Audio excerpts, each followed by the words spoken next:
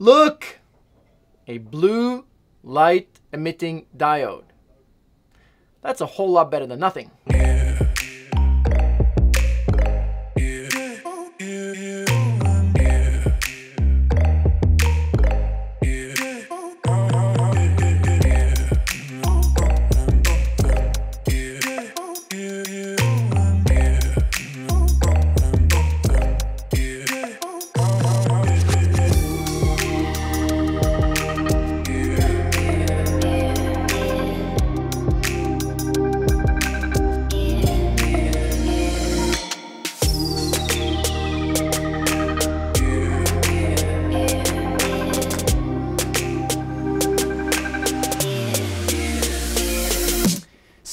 After the assembly, I did a quick inspection and I was surprised to find that the solder joints actually looked incredibly good. So I checked for shorts and I couldn't find any.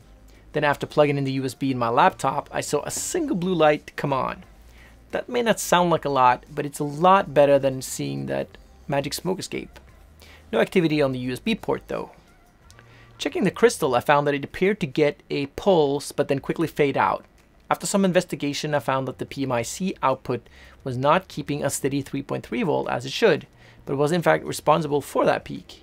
It turned out it was the wrong channel all along.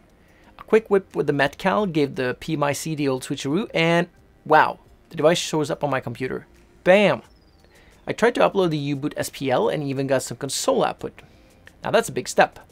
Pretty much the only thing that the SPL should do is to initialize the DDR3 memory, and it failed at that. So I found the piece in the code where the messages came from and started adding more debug statements. That alone seemed to give enough chip warm up to change the DDR line delays, causing one of the chips to initialize. Oh man, I was so happy. I cried tears of joy. Seeing the U-Boot proper spit out the debug statements was on par with seeing Joker. It was that great. So that's the status as of now. One kidney transplant and a command line for the win.